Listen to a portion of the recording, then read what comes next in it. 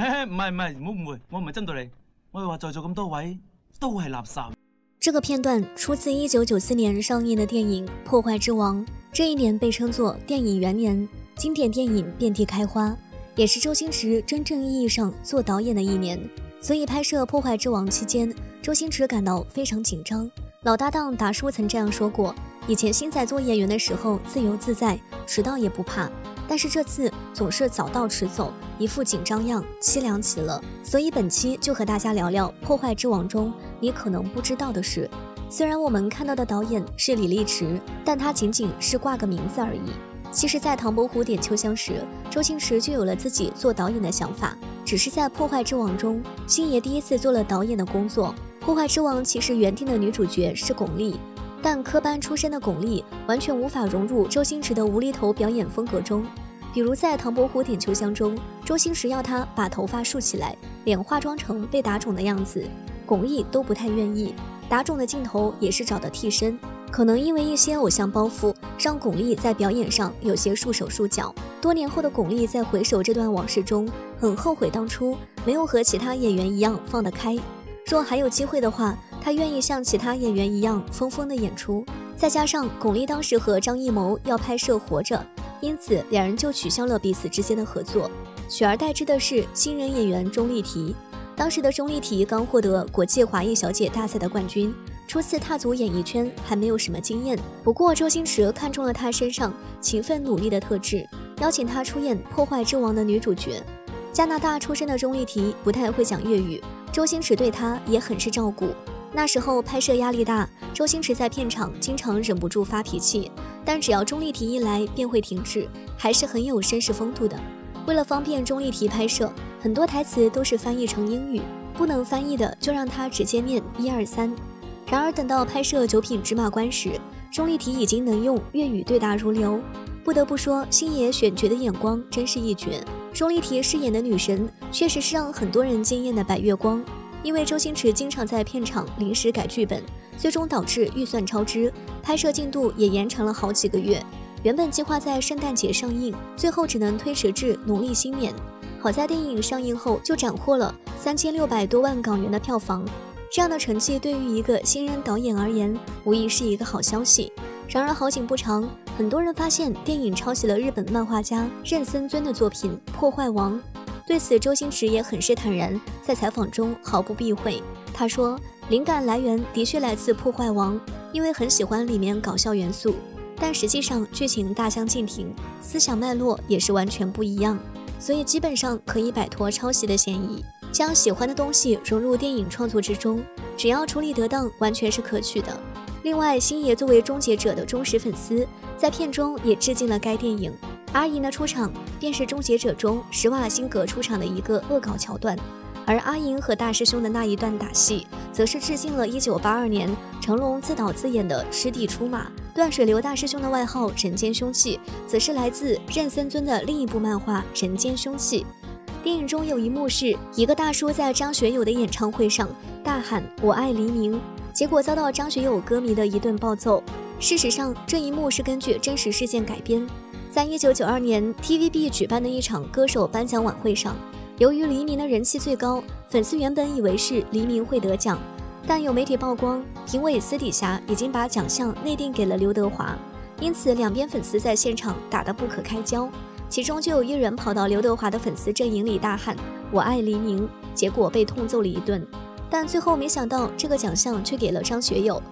吔屎啊你！让观众意想不到的是，张学友也真的来客串了，自己演了自己。实际上，张学友当时并没有去片场，只是隔空拍了一段，后期剪辑在了一起。现在看来也是很有意思。当时看这部电影的时候，你一定注意不到古巨基也参演了。那时候他还比较青涩稚嫩，好多人看一遍压根都没看出来。古巨基饰演的是快餐店的一个打工仔。整部电影没说过几句台词，纯粹就是打酱油的。这快餐店虽小，但却是卧虎藏龙。店老板是由黄一飞饰演，抠门又啰嗦，戏份比较足。还有一个胖子店员，他是古德昭，电影里是星爷的御用配角，戏外是导演和编剧。这几个人还教会了我们许多开餐馆的套路。在当时那个年代，还没有美团外卖。他们无论多远都有配送服务。何金莹对老板说：“下次远的配送就别让他去了。”结果老板告诉他：“天将降大任于斯人也，必先劳其筋骨，饿其体肤，苦其心志。”然后被顾客发现饭里有苍蝇该怎么办？一起先把苍蝇制服，甚至把阿莹打一顿。最后目的达到了，老板说：“我哋如果唔去到咁尽呢，汤就唔会慳翻一碟，银纸就唔会照收。”此外，电影中的广告营销也是做到了极致。当何晶莹赢得比赛的时候，店员都穿上了快餐店的工装，还说完全是吃了自家的餐饭才赢得了比赛。可以说用最少的钱在电视上打了一次广告。何金莹作为一个外卖小子，想追求女神钟丽缇，万般无奈之下，看到懦夫救星，努力抓住最后一根救命稻草。达叔就是那个懦夫救星，虽然能力不够，不过他的营销和推广方案绝对一流，就算放在现在也完全不过时。同李小龙根本呢就两师兄弟，中国四围咁话俾人听咩？加上和成龙的重案组的合照，这其实是为了打造个人品牌的重要性。用 P 图和假动作让阿银深信不疑。那么如何在电影中打广告，又能不让观众发现呢？当身无分文的阿银准备投靠达叔时，却被对方冷落打发。分别时送给达叔一个没有 logo 的塑料手表，影片还把这块表以三百六十度无死角的展现给观众。其实这是一块 Swatch 手表，还有一段堪称是教科书级别的广告植入，就是阿玛尼自黑式的宣传。就算你有阿玛尼眼镜又怎样，还不是追不到女神？当时看电影的时候，并不知道阿玛尼是什么，但后来知道这个品牌的时候，脑海里就会浮现这一个片段。你竟然我副阿玛尼啊！我副阿玛尼啊！最后，阿银和大师兄在擂台赛的中场休息时所插播的广告是味元堂。这些广告在电影里并没有很突兀的感觉，反而推动了故事节奏，有种意外的喜剧效果。片中饰演跆拳道主将的是周比利，相信大家一定对他很熟悉了。可惜一出场就被断水流大师兄秒了。虽然这段客串看起来他的实力很弱，但是周比利在现实中却是一个真实的拳王，曾获得多次自由搏击世界冠军。在武打电影中，经常看到他作为终极打手最后出现，是功夫巨星的最强对手。接下来要说的这位和周星驰颇有渊源，背后的故事也是很戏剧化。他就是林雪，在这部电影中没有多少戏份，只是个倒垃圾的路人。两人第一次相遇时，周星驰还只是在剧组跑龙套，林雪是当时剧组的场务。有天拍完戏的星仔去找林雪，请他帮自己找一辆车回家，林雪也口头答应了。